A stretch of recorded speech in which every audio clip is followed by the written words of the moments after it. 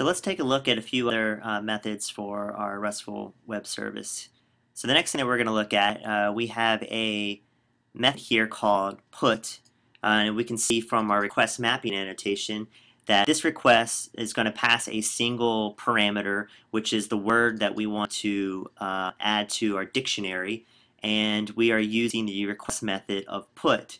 Now you can see here that we've also uh, added the response status annotation and and uh, specify that we are going to uh, send a status of OK along with our response. Now, if you remember, we don't have to do this because our default status is going to be OK, but just showing that you can do this too, uh, just to make it explicitly clear. Now, as you see here, we have the path variable annotation, which is going to map our single um, parameter, which is the word uh, that, we're, that we are going to put in the dictionary, to the string ID of this method. Now, as you also notice here, we have the request body uh, annotation. Now, this annotation tells Spring uh, to map the request body into this variable called word. And in this case here, uh, Spring is going to basically map uh, the JSON or XML that we're going to send back and map it into this bean using either JAXB or Jackson uh, depending on the content type that we specify on the request.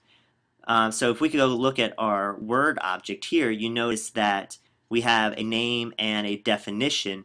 So what's going to happen is in our um, in our request body, we are going to send back the name and definition, and this is going to be mapped to this word bean. So as you can see here, we're just going to call put word on our dictionary DAO and add that word to our dictionary. So let's go to our sample client um, we're going to change this to put.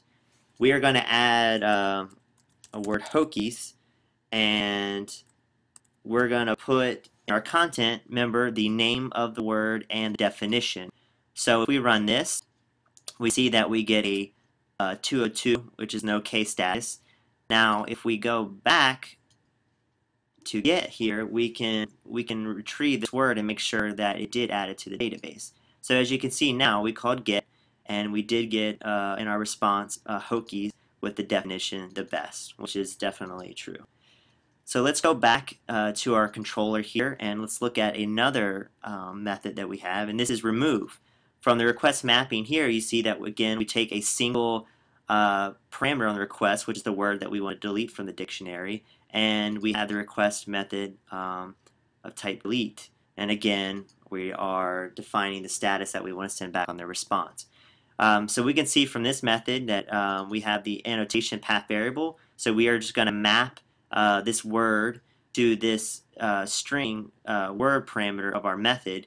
And so as you can see from the method here, all we're going to do is call remove word and uh, remove that word from our dictionary. So let's go back to our sample client here.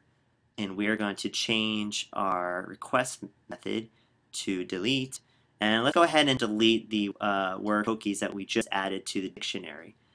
Uh, so if we run this, we see again that we get back an OK status.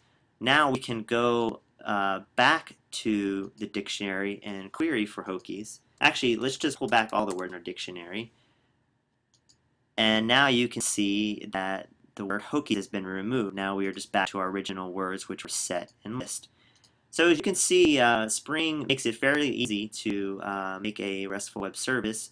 Um, and this is just kind of a simple example, but I hope this gets the point across on on how to use controllers and, and Spring to uh, build a, a nice web service.